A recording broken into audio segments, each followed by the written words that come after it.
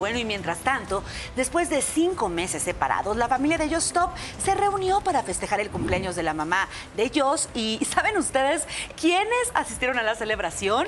Bueno, pues su media hermana Ginny Hoffman y su hija Alexa. Alexa Parra, hay que recordar que la influencer y la actriz tuvieron el mismo padre, Raúl Hoffman, quien falleció pues hace más de dos años. Aquí las imágenes. Dos. Ese pastel me encanta. Pues creo que El pastel, el. Creo que ahí sí era importante eh, el estar presentes los que quieren a, a Jocelyn, ¿no? Para, para recibirle en un momento tan, tan importante, tan de shock, para hacerle mostrar pues tu cariño, tu apoyo y qué bueno que esté Fíjate, fíjate que también otra de las de, de estas condiciones, ¿no? Que es interesante es que tiene que colaborar como testigo en las demás investigaciones de este caso, porque hay que recordar Continuar. que todo esto no, no, no ha terminado, ¿no? También hacer estas donaciones a instituciones de apoyo a mujeres y niñas, invitar también a sus seguidores a donar y, y como les menciono, ¿no? Colaborar como testigo. Así que Exacto. El Sí 5% cambia de sus ingresos, ¿no? Sí, Y la verdad, eh, mucha gente de repente dice, es que ¿por qué los culpables no están en cárcel? Sin embargo, sabemos que hay una persona, estuvo en cárcel, salió, pero tiene un cargo porque aceptó haber violado y cargará con ese con esa estampa o ese estigma toda su vida, entonces hay que pensarle bien. Pero continuamos con este tema. Ayer estuvimos de primera mano totalmente en vivo desde la conferencia de prensa que ofrecieron a Inana Suárez y su equipo legal. La joven explicó por qué tomó la decisión de darle a Yoso Stop una segunda oportunidad. Luego de que la noche del 30 de noviembre saliera Jocelyn Hoffman del penal de Santa Marta Catitla, donde ingresó el pasado 29 de junio acusada de pornografía infantil y revictimizar a Inara Suárez, es la joven quien en compañía de su abogado Javier Schute y la directora de la organización FEM por FEM, Samantha Cerizola, ofrecieron una conferencia de prensa para compartir las condiciones que tendrá que cumplir la influencer ahora que salió bajo una suspensión condicional del proceso. Quiero que quede claro que me violaron, grabaron mi violación y la difundieron. Yo tenía 16 años. Esta es la verdad que ya fue reconocida ante un juez y que consta con una sentencia firme.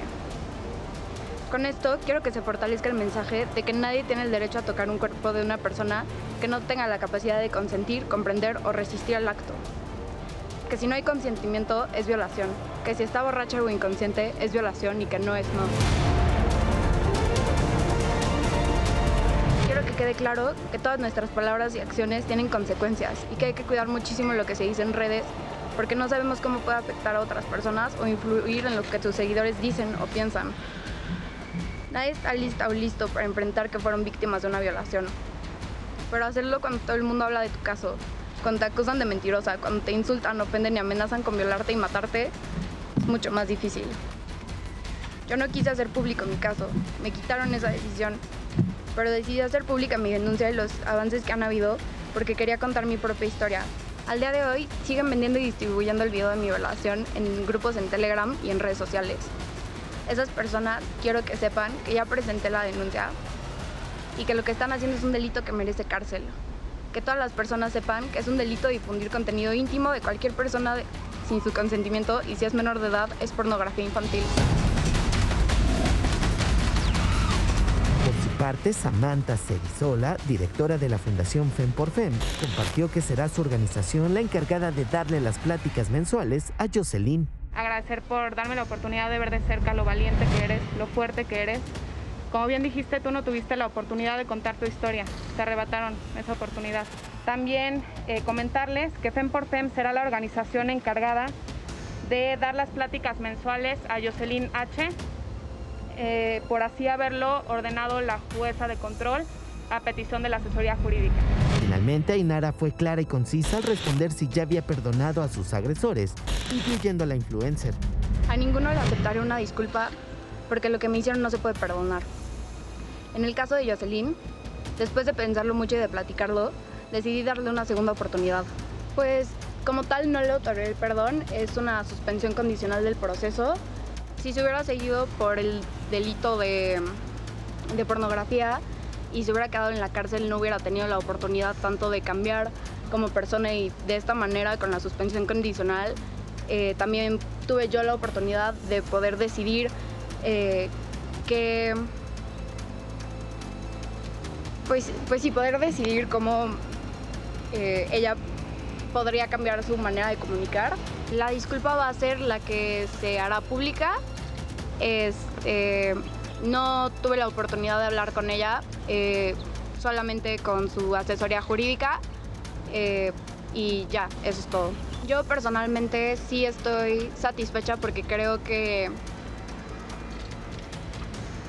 pues es algo muy complicado y de esta forma con la reclasificación también puedo lograr un poco de lo que era mi objetivo, que no volviera a lastimar a nadie de la manera en la que me lastima a mí y eso es de lo más importante para mí. Pues ahí está. Y fíjese, Nara también especificó que qué requisitos deberá cumplir Jocelyn Hoffman para permanecer en libertad durante los tres años que dure su suspensión condicional. No quería que el mensaje de mi caso se opacara o se distorsionara por la diferencia en los dos sistemas, el de adolescentes y el de adultos. O porque pudiera parecer una cuestión de venganza contra ella. Lo que me pregunté fue qué fortalecería más el mensaje, qué me daría más paz y qué sería lo más sanador para mí. Por eso, después de analizar las opciones y platicarlo con mi asesoría jurídica, buscamos el camino para que el caso pudiera cumplir con una fun función pedagógica y que en lugar de que Jocelyn siguiera en la cárcel, pudiera salir, pero sujeta a una serie de condiciones con las que cambiara su forma de comunicar, de tratar a las mujeres y con las que pudiera haber un cambio real en ella y en la sociedad. Por eso llegamos al acuerdo de que ella saliera sujeto a que hiciera y difundiera una disculpa pública en los términos y con el contenido que acordamos, que asistiera a pláticas con colectivas feministas y a cursos de capacitación y sensibilización en temas de violencia de género y otros relacionados, que compartiera en sus redes un video al mes con lo que aprendió en dichas pláticas y cursos sobre los temas de violencia contra las mujeres, feminismo y género. Que hiciera donaciones a instituciones de apoyo a mujeres y niñas y que invitara a sus seguidores a donar. Que colaborara como testigo en las demás investigaciones de mi caso. Que no volviera a insultar, humillar, denigrar o revictimizar a nadie, especialmente mujeres y niñas que no volviera a hablar de mí, de mi familia ni de mi caso, y con una orden de restricción para no contactar ni acercarse a mí ni a mi familia. La única excepción a esta última condición es la disculpa pública que debe hacer y si hace manifestaciones sobre su experiencia personal en la cárcel, aclarar que lo que vivió fue consecuencia de sus actos. ¿Sabes qué, qué- qué es lo grave aquí? Que, que mencione que todavía el video se está difundiendo en grupos de Telegram, que son plataformas digitales. eh, pues, y, y- y como que no se aprende todo esto, no es pornogra- pornografía infantil. Exacto. Tiene 16 años. La siguen revictimizando. Es de una violación, entonces eh, qué desafortunado la gente que sigue compartiendo y difundiendo este material. Ya vimos eh, las consecuencias a las que uno puede llegar hasta la cárcel, como fue el caso de Joss, como tanto lo hemos mencionado, y también qué claridad al momento de explicar por todo lo que va a tener que pasar Joss, porque sí, ella le dio la oportunidad, se puede llenar la boca y puede llenarse con orgullo de decir, di la oportunidad, porque estando en la cárcel la verdad es que no iba a servir para nada.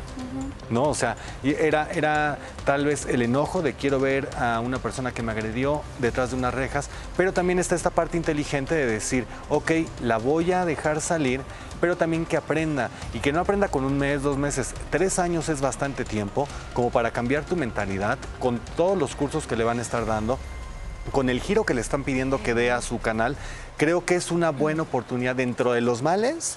Creo que es una buena Claro, oportunidad claro. para crecer ambas y, liberarse. Como decía él, el- y como dice el, el representante de, de Ainara, eh, dice, justicia no solamente es cárcel. Exacto. Entonces, él, Claro. él lo menciona también, en- en- lo mencionó en el comunicado de, bueno, Sí. en la conferencia de prensa del día de ayer. Yo le podría llamar paradoja, pero no, yo creo que es justicia. El hecho de que ella haya descrito, visto y descrito esa situación tan lamentable que es una violación y que ahora ella sea testigo en este caso. Testigo, pero con otro enfoque de lo que ella misma vio. Claro. de lo claro, que va a ir aprendiendo. Y justicia, pues justicia yo creo que en este caso es la tranquilidad que te da, el saber que actúas bien. Y en el caso de Ainara creo que eso para ella es la justicia, ¿no? El tener esta paz, esta tranquilidad de saber, por fin se me hizo caso, por fin eh, obtuve lo que quería y ahora puedo continuar mi vida y tengo límites marcados. Y se contó mis- su historia, ¿no? Porque como ella se contó mi historia eh, y en verdad, pues ellos afirmaron su dicho, el dicho Exacto. que ella siempre peleó. Y el proceso